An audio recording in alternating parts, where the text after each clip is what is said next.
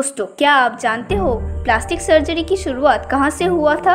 अच्छा ये बताओ, डल्टन ही क्या एटम का इन्वेंट किया है? और आप बता सकते हो कि नासा इसरो से सचमुच बहुत आगे चला गया? नहीं तो कोई बात नहीं। आज हम आपको इंडियन स्पेस एंड टेक्नोलॉजी से जुड़ी हुई कुछ ऐसी बात बताएँगे जिसको सुन के आप ज़रूर हैरान होंगे।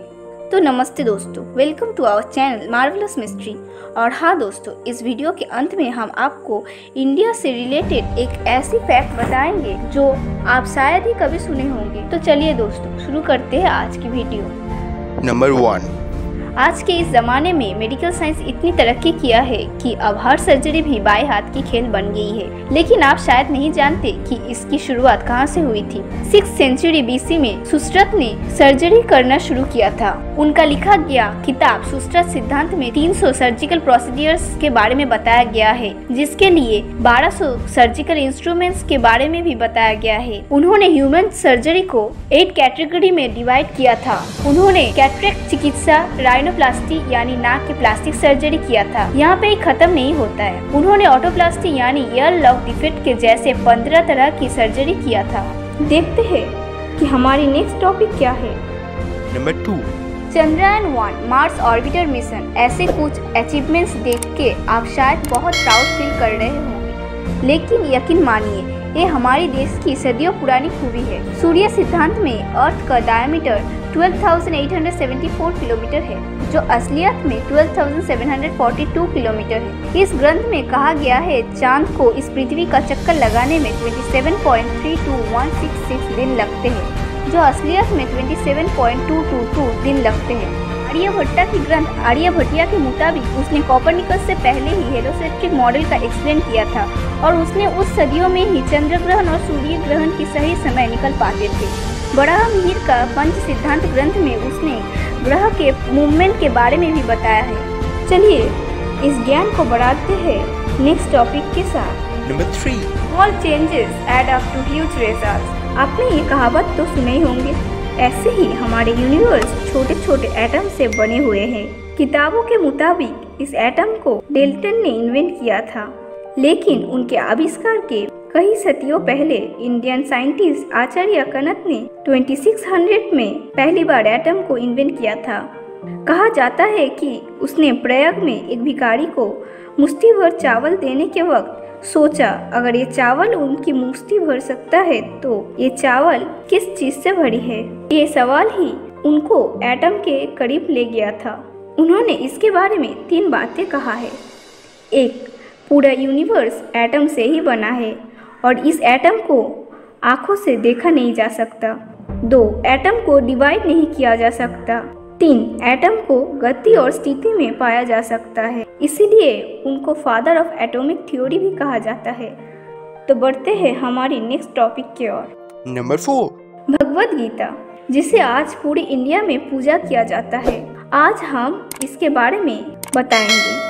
लेकिन कुछ अलग ही नज़र से। यानी धर्म ग्रंथ की तरह नहीं, एक नॉलेज साइंस बुक की तरह। आप लोगों में जो साइंस के स्टूडेंट हैं, वो ज़रूर एनर्जी कंजर्वेशन लॉ के बारे में जानते होंगे। इस लॉ के मुताबिक एनर्जी कभी नष्ट नहीं हो सकता। वो एक रूप से अन्य रूप में परिवर्तित होता है। जैसे स्विच ऑन करने से बल्ब जलता है, यानी यहाँ इलेक्ट्रिक एनर्जी लाइट एनर्जी में कन्वर्ट होता है। भगवत गीता में अध्याय दो, श्लोक तेईस में बताया गया है कि आत्मा कभी नष्ट नहीं होता। ये बस शरीर बदलता है। आप शायद सोचेंगे कि आत्मा से एनर्जी का क्या लेन देन है, लेकिन आत्मा भी एनर्जी है। इस बात को मॉडर्न साइंस भी अप्रिशिएट करता है। क्या आप इस वीडियो से कुछ सीखे हो? अगर हाँ तो इस वीडियो को एक लाइक ज़रूर करना। तो बढ़ते हैं हमारी नेक्स्ट टॉपिक की ओर। नंबर फाइव पाँच हज़ार साल पहले जब कोई भी एलोपैथी का अस्तित्व नहीं था, तभी से आयुर्वेद इंसानों के एक भरोसेमंद दोस्त बन के खड़ा है। आज ट्वेंटी फ़र्स्ट सेंचुरी में भी इसका इस्तेमाल किया जाता है। हिपोक्रेटिस जिसको फादर ऑफ़ मेडिसिन कहा जाता है, उससे कई वर्ष पहले चरक जो एक आचार्य थे उसने आयुर्वेद का जन्म दिया था और उसने अपनी सारी एक्सपीरियंस को अपनी किताब चरक संहिता में लिखा था। उसके किताब में बारह हज़ार श्लोक लिखा गया है, जिसमें 2000 औषधि, दस लाख मेडिकल प्लान के इम्पोर्टेंस के बारे में लिखा गया है। उसके किताब में डाइजेशन मेटाबॉलिज्म इम्यून सिस्टम के बारे में बताया गया है। जेनेटिक्स के बारे में भी उसने बताया है। उन्होंने हार्ट को कंट्रोलर मानते थे। जो हमारे बॉडी के 13 चैनल से जुड़ा है। ये किताब में उन्होंने शरीर के हर पार्ट्स को निरामय करने के तरीके बताया है। 1800 से 100 बीसी में लिखा गया अर्थवेदा में आयुर्वेदा के बारे में बताया गया है। अगर वीडियो अच्छा लगा तो लाइक शेयर कमेंट ज़रूर करना। तो बढ़ते हैं हमारी नेक्स्ट टॉपिक की ओर।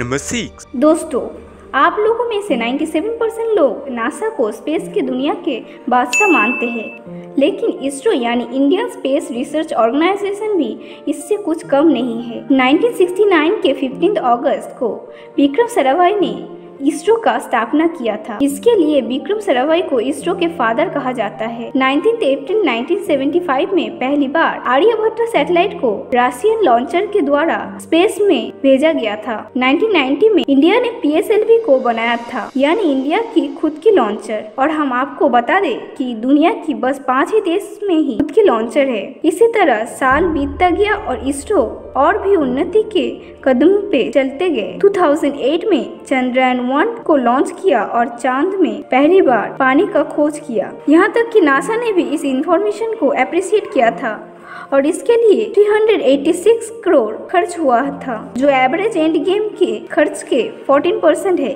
इसके बाद 2013 में मार्स मिशन में पहली कोशिश में सक्सेस पाया और स्पेस हिस्ट्री में अपना नाम दस्तखत किया। और दूसरी तरफ़ नासा ने इसमें पाँच बार फेल हुआ। इसके बाद नासा ने इसरो के संग काम करने का ऑफ़र दिया। कहा जाता है कि इसरो की 40 साल की खर्च नासा के आधी साल की खर्च के बराबर है। अब समय हो गया है मार्वलस फैक्ट को जानने की। Marvelous fact. आज की मार्वलस फैक्ट इंडियन फ्लैग से जुड़ी है। इंडियन फ्लैग जिसको तिरंगे भी कहा जाता है उसके तीनों रंगों की अहमियत के बारे में हम आपको बताएँगे।